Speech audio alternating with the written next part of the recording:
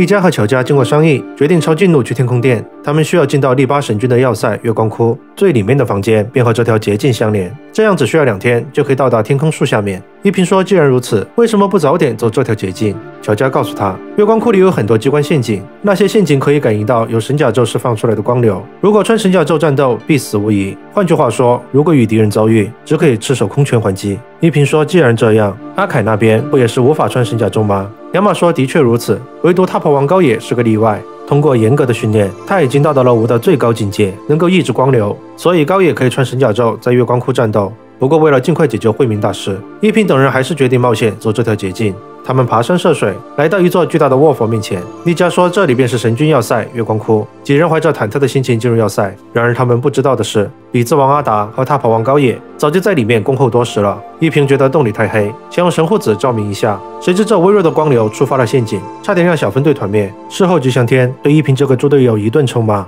同时大家也见识了这些机关的威力。这场骚动引起了高野和阿达的注意。高野念动咒语，抑制了阿达身上的光流，这样他就可以穿着神甲咒在月光窟战斗。阿达找到一平等人，并发起攻击。他的招式异常刚猛，一平他们只能四散奔逃，好不容易逃出升天，这边又被高野拦住去路。紧接着阿达也从后面追了过来，一平几人只好骑上神甲机逃命。他提议与其顾及机关，而被阿达和高野追杀，倒不如直接骑上神甲机冲进去搏一搏。大家觉得可行，于是他们分开行动，约好在捷径入口汇合。丽佳和吉祥天同行，他们遭到了阿达的拦截。丽佳让吉祥天先走，自己留下来对付阿达。但丽佳刚用光流，就被月光窟的陷阱困住。阿达趁机用飞斧重创了丽佳。好在阿达以为丽佳已经死去，没有补刀。转身继续追击一平等人去了，而此时一平也被高野引诱到一个房间。当一平穿上神甲之后，房间里的机关被触发。高野对一平说：“你上当了，月光窟最凶险的机关已经启动。”接着高野身后一尊巨大的魔像动了起来，一平慌忙使出绝招修罗魔破拳，但这招对魔像丝毫不起作用，自己反倒被魔像一拳打飞。高野说：“胜负已分，虽然你想去的房间就在隔壁，但可惜你永远也去不了了。”随后高野便得意的大笑起来，殊不知这番话让一平灵光一闪。虽然他无法打败魔像，但要打破一堵墙壁还是绰绰有余。说完，一平就在墙上开了个大洞，并顺利和其他几人汇合。这时，魔像也追了过来，高野和阿达则站在魔像肩上指挥他攻击。乔教让一平使出绝招，其他人会把光流汇聚到他身上。就这样，一平打出了一记集合四人之力的修罗魔破拳。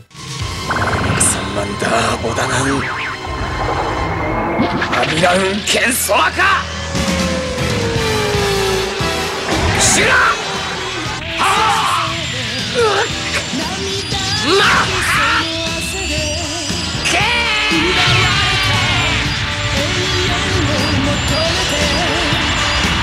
おお